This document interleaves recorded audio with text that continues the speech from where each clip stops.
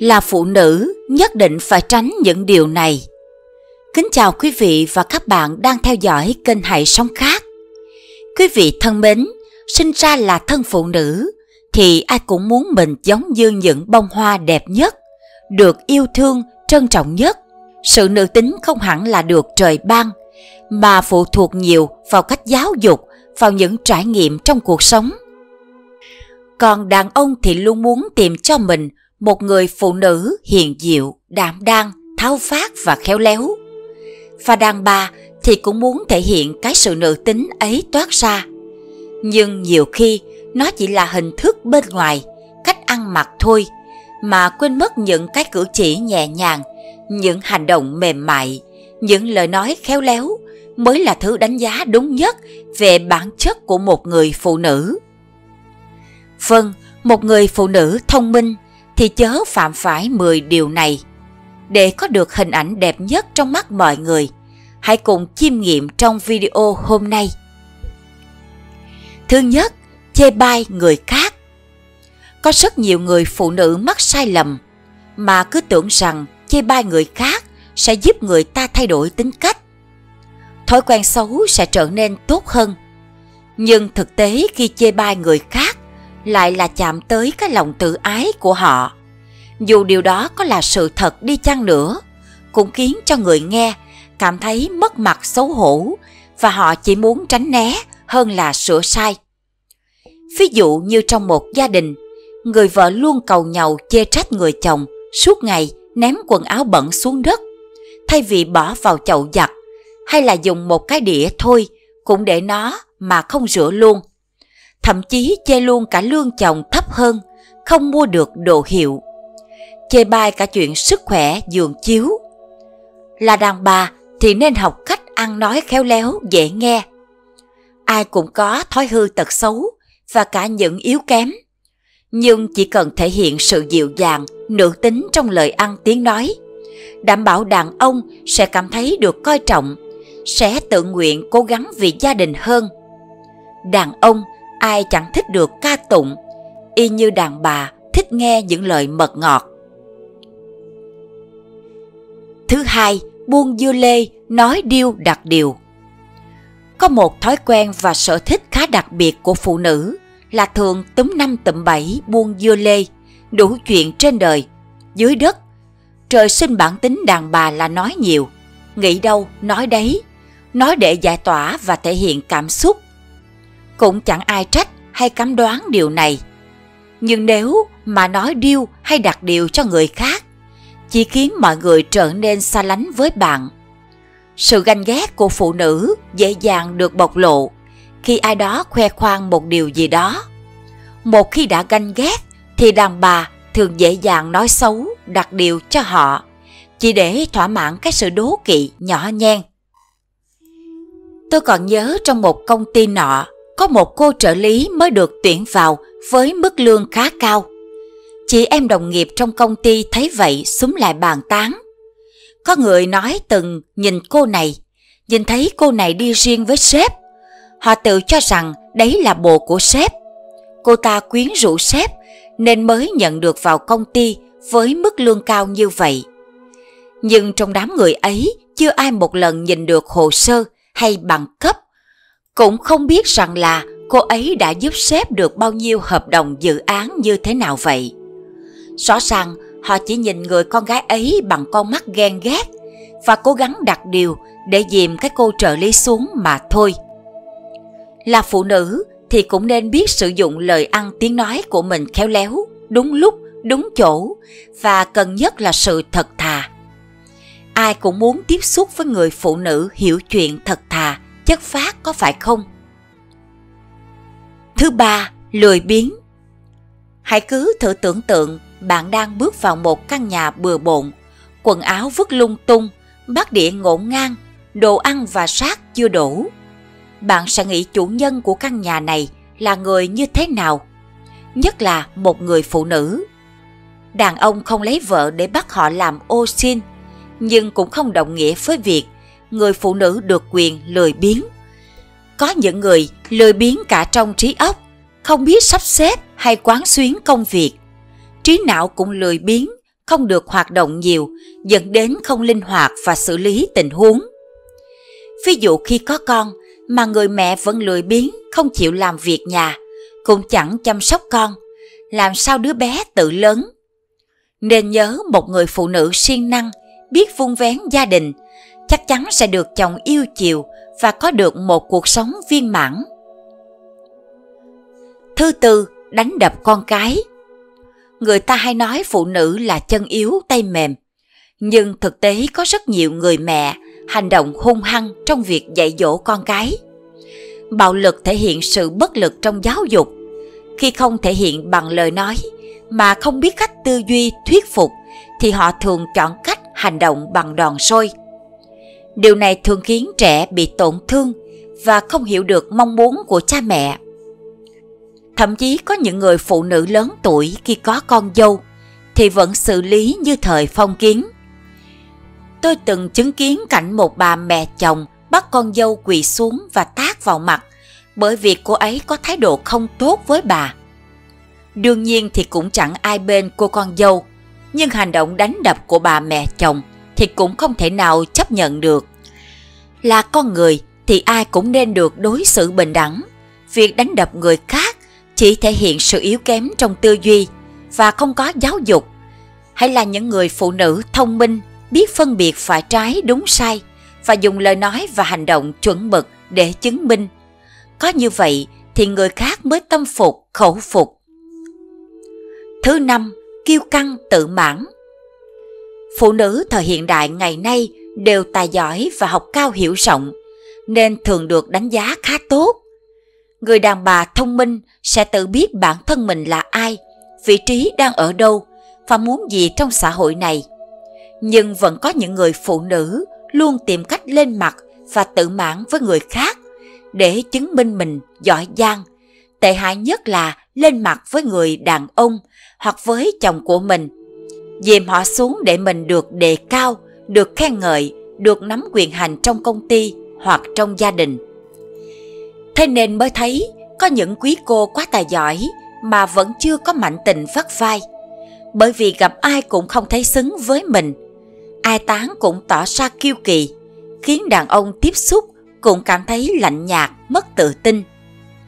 Sự thật là chẳng người đàn ông nào muốn gần gũi với những người vợ kiêu căng, tự mãn như vậy, vì họ sẽ cảm thấy mình bị lép vế, sẽ sợ hãi và trở nên vô dụng trong cuộc đời người đàn bà này. Là phụ nữ thì bạn nên hiểu rằng, dù bạn có giỏi giang, học thức cao cỡ nào đi chăng nữa, thì chỉ cần khiêm tốn một chút thôi, chắc chắn hình ảnh của bạn sẽ đẹp, ai cũng công nhận. Thứ sáu, người sống không biết điều. Sống trên đời này, phụ nữ không cần phải biết quá nhiều thứ, nhưng phải biết đó là biết điều. Rất có nhiều người phụ nữ sống không biết điều, đòi hỏi quá đáng và luôn coi những việc người khác làm cho mình là lẽ đương nhiên. Ví dụ một trường hợp vay tiền của người thân, tiền bạc luôn là vấn đề nhạy cảm. Khi gặp khó khăn, bạn có thể vay mượn tiền của người yêu của bố mẹ hay cha mẹ anh chị em trong nhà chồng. Dù là những người rất thân thiết, nhưng họ không có nghĩa vụ phải cho bạn vay tiền. Và bạn cũng đừng suy nghĩ họ phải cho bạn vay số tiền ấy. Nếu bạn không trả, thì người biết điều thì hãy trả đúng hạn. Đừng để người khác đòi mới trả, hoặc nếu không đủ khả năng thì cũng đừng có vay. Đôi khi việc mượn tiền sẽ làm bạn đánh rơi một số mối quan hệ tốt nhất. Là phụ nữ thường cho mình cái đặc quyền yếu ớt, dựa dẫm tỏ ra đáng thương. Hay khi mẹ chồng giúp bạn chăm nơm cháu nội, hãy tỏ ra cảm kích và biết ơn. Vì con bạn là do bạn sinh ra, ông bà không có nghĩa vụ phải chăm nuôi cháu. Đôi khi ông bà không muốn trông con cho bạn, thì bạn cũng không thể trách được. Sống biết điều thì mới được mọi người tôn trọng và yêu quý, vì nó thể hiện được bạn là người phụ nữ có giáo dục tốt. Thứ bảy, thích chuyện thị phi. Nhiều người phụ nữ nhàn rỗi hay thích kiếm chuyện để làm cho cuộc sống bớt nhạt nhẽo hơn. Thay vì tìm cách để sống một cuộc đời bình yên, thì họ lại chọn cách gây sóng gió cho cuộc đời của chính họ và những người khác.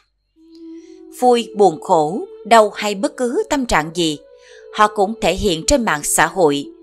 Từ việc khoe khoang nhà cửa đến khoe đồ hiệu, khoe chồng con, hay thậm chí cãi nhau với chồng, hay không vừa ý với bạn bè thì cũng tung hê lên mạng xã hội, để người ngoài bàn tán soi mói ra vào. Người quý thì người ta ca ngợi hoặc góp ý, nhưng người ghét thì người ta sẽ nói xấu hoặc bàn tán theo ý muốn. Lúc ấy lời qua tiếng lại chỉ thể hiện rằng mình là người đàn bà ghê gớm, sống nội loạn và thích thị phi mà thôi. Tóm lại, miệng lưỡi người đời thì không ai ngăn cản được. Nhưng nếu bản thân mình biết tự chủ lời ăn tiếng nói thì chẳng thể nào có thị phi trong cuộc đời. Bạn nên nhớ, muốn cuộc sống thị phi thì dễ, nhưng để có được cuộc sống bình yên mới là niềm hạnh phúc. Nếu bạn làm được điều này thì chắc hẳn mọi điều được ở bên cạnh bạn, đều muốn nói chuyện với bạn. Vì sống trên đời này, ai cũng mong muốn tìm được chốn bình yên để về sau một ngày dài mệt mỏi. Thứ 8. khinh khi phụ nữ Là cha mẹ thì ai cũng cố gắng trở thành niềm tự hào của con cái, được con cái nể phục và yêu thương. Họ tần tảo, lâm lội ngoài xã hội để con cái được đầy đủ về mọi mặt. Nhưng mà rõ ràng không phải đứa con nào cũng hiểu được hay biết được cái niềm thương đau của cha mẹ. Tôi hay nghe người ta nói rằng những gia đình nghèo thường sợ đẻ nhiều con trai vì phải lo nhà cửa để chúng lấy vợ. Còn đẻ con gái, nhất là con gái đầu lòng, thì mới giúp đỡ được cha mẹ. Nên con gái luôn được kỳ vọng sẽ sống tình cảm và yêu thương bên cạnh cha mẹ hơn.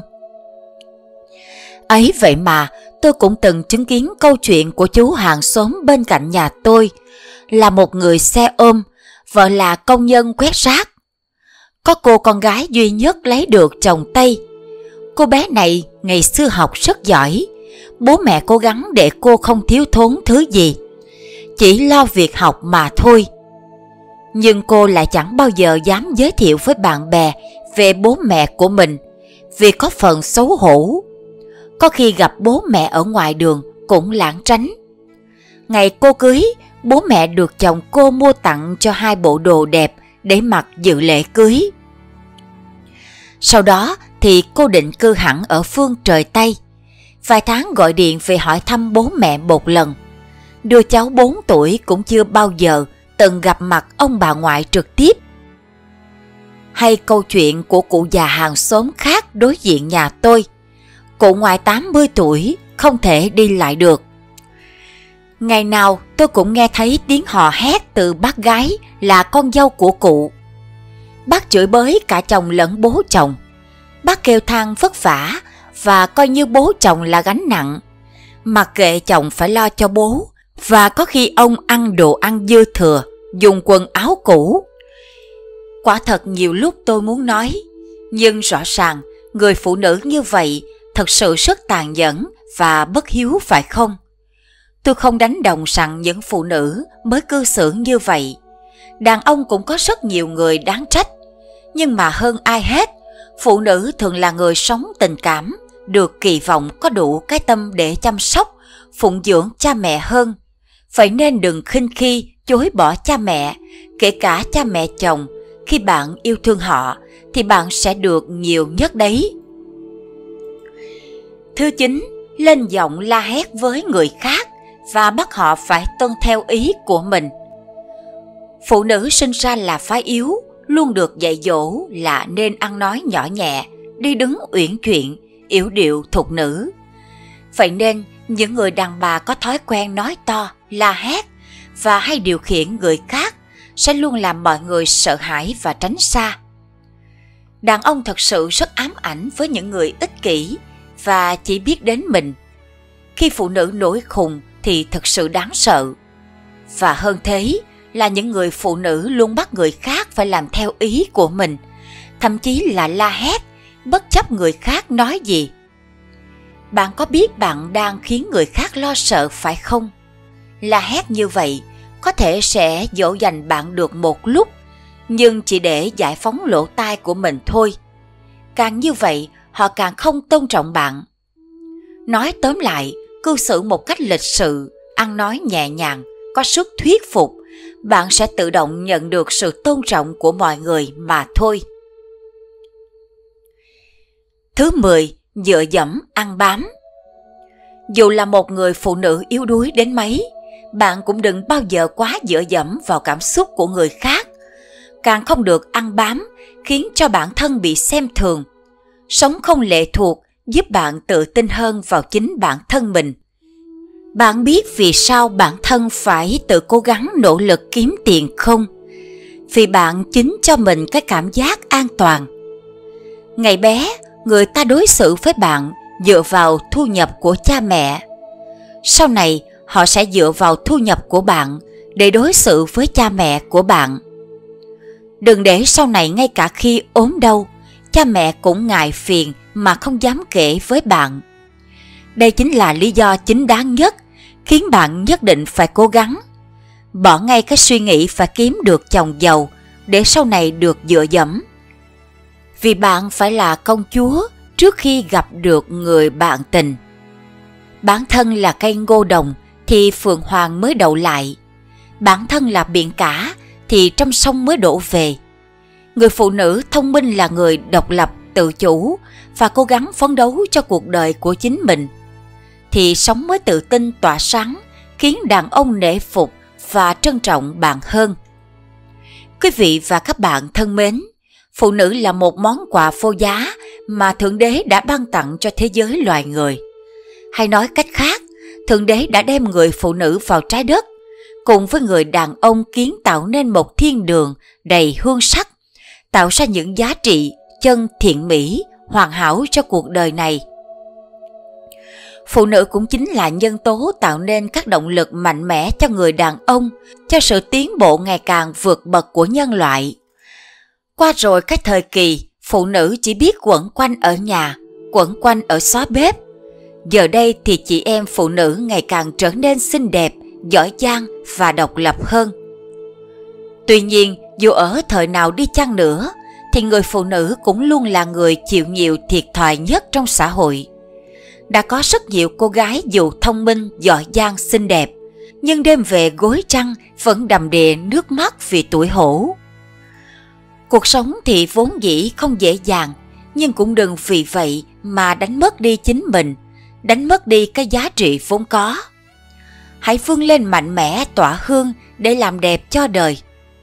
Và sau đây, góc nhìn Việt xin nhắn nhủ năm từ khóa quan trọng mà người phụ nữ cần phải ghi nhớ để có cuộc sống được trọn vẹn và hạnh phúc hơn.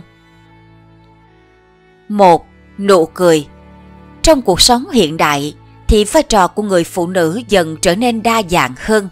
Họ quay cuồng với công việc tất bật với việc chăm sóc nhà cửa, nuôi dạy con cái, đối nội, đối ngoại, và dần già thì họ không còn thời gian cho chính mình nữa. Cuộc sống bận rộn khiến họ luôn mỏi mệt và dễ sinh cáu gắt. Họ đánh mất đi nụ cười lúc nào không hay.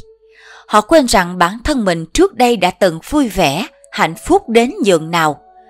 Và nụ cười đó khiến bao nhiêu người yêu quý. Dù rằng cuộc sống có vất vả, nhiều áp lực, nhưng cũng đừng vì thế mà kiệm nụ cười với những người bạn thật sự yêu quý. Nụ cười thì không những giúp bạn xua tan đi mệt mỏi, mà còn giúp mọi người gần nhau hơn. Hãy luôn ghi nhớ rằng một khuôn mặt xinh đẹp đi liền với một nụ cười trên môi. Hãy trò chuyện với mọi người một cách vui vẻ và đừng quên tán thưởng khen ngợi họ với một nụ cười chân thành trao yêu thương thì sẽ nhận được yêu thương. Khi bạn trao ai đó nụ cười chân thành, cũng chính là lúc bạn sẽ nhận được sự cởi mở và tin tưởng của họ sẽ dành cho chính mình. Là phụ nữ, đứng trước cuộc sống muôn vàng khó khăn, dù mai kia có sóng gió ập đến thì cũng đừng quên nở nụ cười để cuộc đời nhẹ nhàng hơn. 2. Yêu Là phụ nữ bạn có quyền yêu hết mình thậm chí là yêu cuồng nhiệt.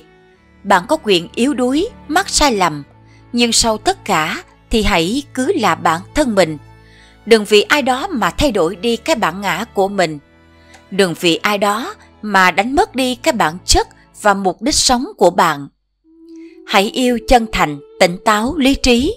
Đừng như các bạn trẻ hay rêu sao lạc yêu hết lòng. Yêu là không hối tiếc. Thực tế, nếu bạn yêu sai cách thì chắc chắn bạn sẽ hối tiếc. Hối tiếc nhiều điều, niềm tin đặt sai chỗ, thời gian bỏ ra tâm ý của chính mình lại đặt sai người thì vốn dĩ tình yêu không có lỗi. Lỗi là do mình chọn nhầm người mà thôi. Có những cô gái đã phải đánh đổi cả cuộc đời thanh xuân tươi đẹp của mình vì những người đàn ông sợ khanh điệu cán. Những kẻ chỉ xem tình yêu là trò chơi bẩn cợt với tình cảm của người khác. Yêu thì vẫn cứ yêu, nhưng mà vẫn tỉnh táo. Đừng tin hoặc ít tin vào lời hứa của đàn ông. Nghe cho vui vậy thôi, chứ đừng có ghi lòng tạc dạ. Bởi lẽ lúc mới yêu, người đàn ông nào mà chả muốn luôn miệng bảo là anh. Anh là người cho em cuộc sống hạnh phúc toàn diện. Nhưng mà phụ nữ phải biết là trước giờ khi quen bao nhiêu người khác, đó là câu cửa miệng để mà gạ gẫm những ai nhẹ lòng thôi. Không phải người đàn ông nào cũng luôn miệng ngọt ngào với người phụ nữ bên cạnh cả đời. Thương lâu mới biết tính xấu, ở lâu mới rõ nết người. Lời nói của người đàn ông không phải ngày một ngày hai có thể tin ngay được. Đàn ông tử tế ra sao, đợi ngày hết yêu nhau sẽ hiểu ngay. Muốn biết đàn ông liệu có đủ thật lòng hay không, thì đừng nghe họ nói nhiều mà nhìn vào hành động của họ để chứng minh. Phụ nữ có thể dốc lòng cho cả cuộc tình, nhưng mà đừng bao giờ đem hết tin tưởng đặt vào tay của một người đàn ông. Bởi những tự tôn và mạnh mẽ của người phụ nữ thật sự có giới hạn mà thôi.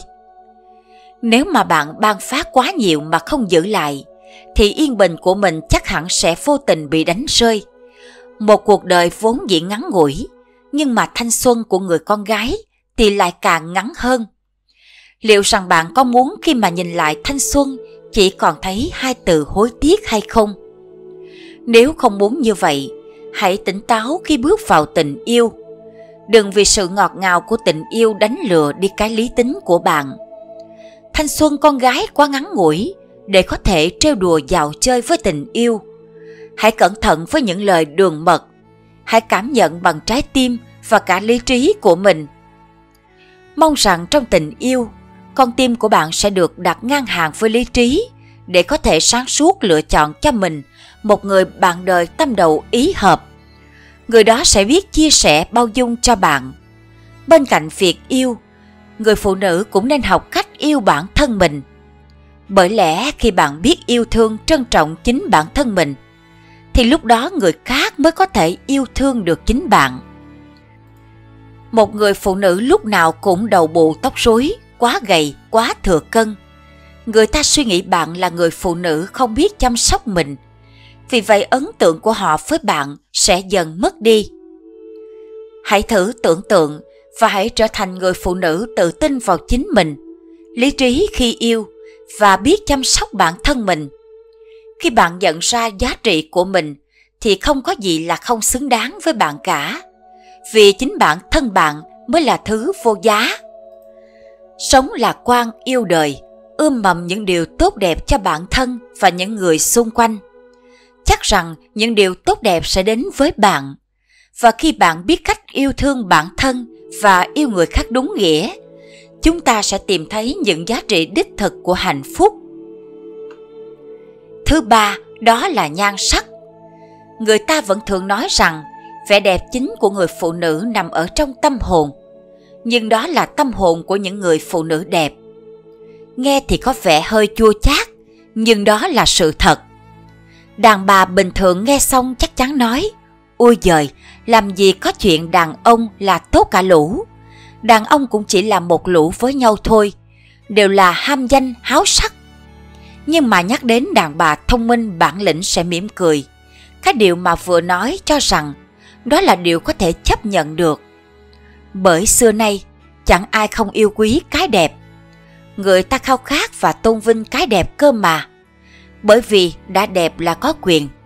Đừng tin đàn ông nói, ôi trời, anh chỉ yêu cái nét đẹp nội hàm bên trong của người em thôi.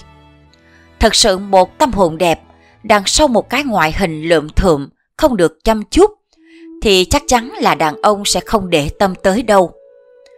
Nói thế thì không hẳn là đàn ông ưu tiên phụ nữ đẹp, mà thường thì họ sẽ coi trọng những người phụ nữ biết chăm chút mình một chút. Nói như vậy thì cũng không có nghĩa là cổ suý với việc là bạn phải trang điểm thật là đậm đà, ăn diện thật là tuyệt vời. Tuy nhiên điều đang nói ở đây là biết tỏa sáng đúng lúc, đúng nơi và đúng chỗ.